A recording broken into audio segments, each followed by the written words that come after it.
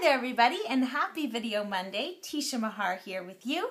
And today I also have my beautiful sister, Tenille Maher, Hello. joining us.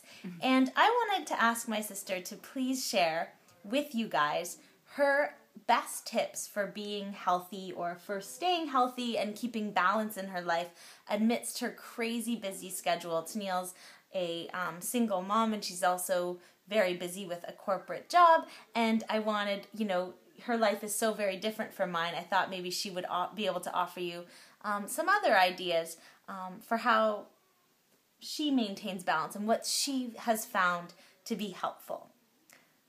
Okay, my turn. Please.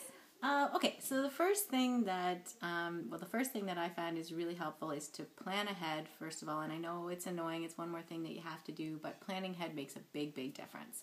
And doing things like making a list for the video Monday of the things you want to say is going to make your life just so much easier and you're going to have less stress.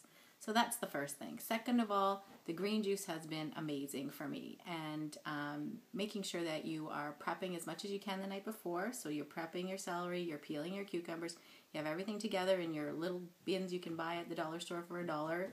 Easy to do. Have them stacked in the fridge, and it's done, ready to go. Um, other thing you can do is take advantage of those local things. Hi there. Hi. Oh, we have another Oh, we guest. have another guest. Um, so another thing you can do is you can take advantage of those local services that you have. So I found out that there's actually someone locally in Waterloo that can deliver sprouts to my door. And so I get my sprouts That's every awesome it's, one. it is awesome. Every Tuesday morning I leave a cooler out. I get my sprouts at my door and I have them for my juice. And I don't have to it's family weekend. I- and I don't have to worry about um, you know, tracking down where I'm going to find ju- sprouts or get to the market, etc. Another thing I found out is that there's actually a delivery uh, for organic vegetables. So I offered to become a delivery spot, and I get my vegetables delivered to my door. So two simple things every week that happen. and you didn't have to run out and, go to the grocery store I or do didn't any ha- of that. It was just Yeah. one less thing, and I have those healthy organic vegetables at my door. Um, another thing that's been great is lemon water. So lemon water you can have wherever you are in the morning. First thing in the morning, I always have lemon water, and then I have a coffee. And I also buy, if I don't have lemons, I buy um, the organic lemon juice from Zehrs, and then I can have it in my fridge, or I can have it at work in the fridge, and then I, I can have it anytime. So it's easy. Um, having herbal teas around, having them in your suitcase when you're traveling, that's an easy tip.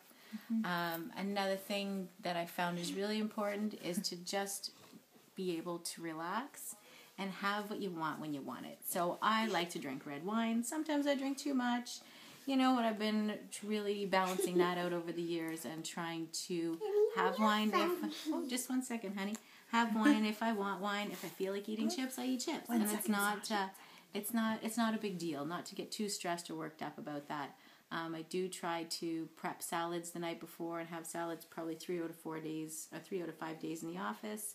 Um, and also then that allows me when we do have those lunches out team lunches etc then i can just have what i want and you know my colleagues joke they say well how do you stay in shape when you know you're having fish and chips when you're stressed out and i said well because i do other things like the lemon water like the green juice and um, and Bikram yoga. So Bikram yoga has also been huge in my uh, and is huge in my life. And uh, even though it is or it does seem to be a big time commitment, uh, it is an hour and a half class. Now there is the express class, so that's been nice.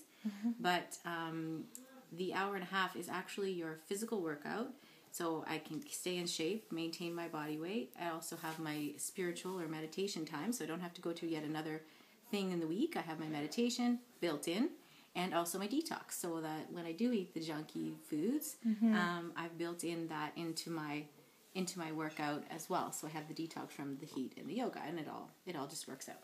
Would Would you say it's probably more than anything? It's mm-hmm. important to take the time to reflect on the things that really help you feel good, and then make sure you know you, Yes, you put absolutely. the time in to get those few things, and then the rest of the time, you know, you don't have to be obsessing over every little thing, but find the things that work for you Yeah. and make them a priority Yeah, in your life, Absolutely. especially when you're super busy. Yes, and you have to make sure that you are doing that. So sometimes I think, oh, I just don't have time for yoga. I want to just stay home. And I always know, and I, well, I do know that if I go, I'm going to feel a thousand percent better. So it's always worth it to just make that little extra effort to get your butt out the door, get to your class, and then you feel amazing for your presentation the next day. And when you have a you know celebratory glass of wine afterwards, it's, It's no okay. big it all balances itself out. So that's that's a couple things. Um, That's awesome. yeah, I think it's awesome. It's awesome. Is it awesome, Sash? it's pretty our, This is our little niece here, so we're visiting her this weekend, which is Hap- really nice. Happy Video Monday, everybody. Thanks Happy for, Video Monday. for watching. Say bye, Sash. Bye. Bye.